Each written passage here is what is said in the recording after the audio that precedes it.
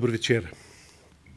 Um, jaz bi na mesto objektu, uh, torej o hiši, o tem, kaj je dobra hiša ali o hiši sami, raje govoril uh, o procesu.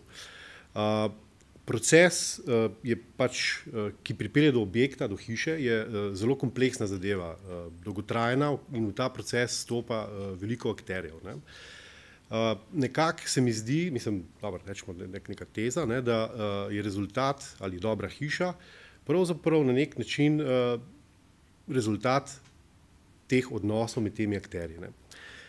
Um, trenutno uh, v biroju nimamo psa, ne? vendar, da ga lahko odpreš, ja. vendar razmišljamo, da bi uh, si nabali eno dogo. Ne?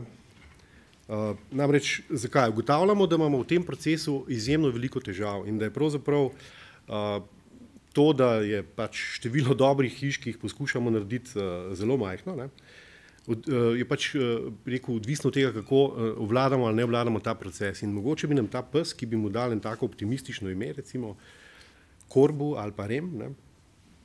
bi nam mogoče pomagal uh, detektirati tiste, uh, uh, rekel, tiste čeri, ki jih uh, običajno ne vidimo in ki nam pripričujejo, da bi naredili dobro hišo. Uh, v prvem, v prvem, um, prvi fazi bi nam ta pes lahko mogoče priprečil, da bi spregledali ne, namenoma uh, tekst v, v pupu, uh, ki piše uh, uskladiti hišo za okolico. Ne.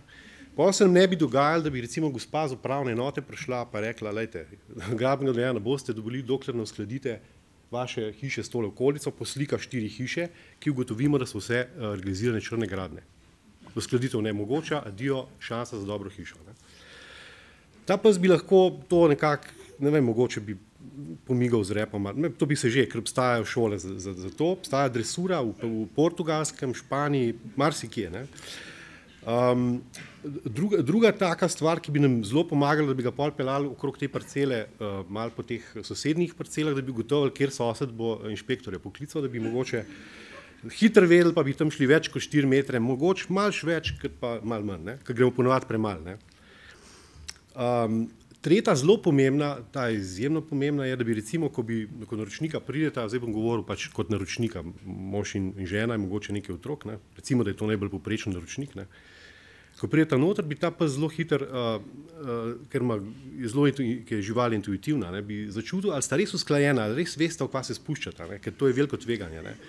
Znači, posel ne bi dogajal to, da po enem letu dela ne, prije določitve, ker uh, seveda uh, ta projekt, ki je emocionalno, emocionalno nabita zadeva, ne, pokaže vsa neskladja in seveda, adijo, dobra hiša ponovno. Ne. Na vse zadnje bi lahko prepoznaval, uh, potem, ko pridejo izvajalci, pa uh, popisi, pa predračuni, bi gotovo, kdo je namazan z vsemi žabami, kdo pa z malo manj in kdo bo potem v PZI-ju zamenjal in spremenil. In, in bi nas opozoril, pa bi rekel, no, mogoče bi pa še kakšno ponudbo odobel, ne, pa bi bilo potem boljš. Um, no, tako, če bi to vseeno mratal, bi potem uh, verjetno v zadnji fazi lahko ta pes vsak, na vsakdanjem sprehodu, kar je pa zelo pomembno in verjetno cilj, ne, zakaj ga sploh kupujemo, uh, nam pomaga najti idealnega naročnika, končno. Ne. Hvala.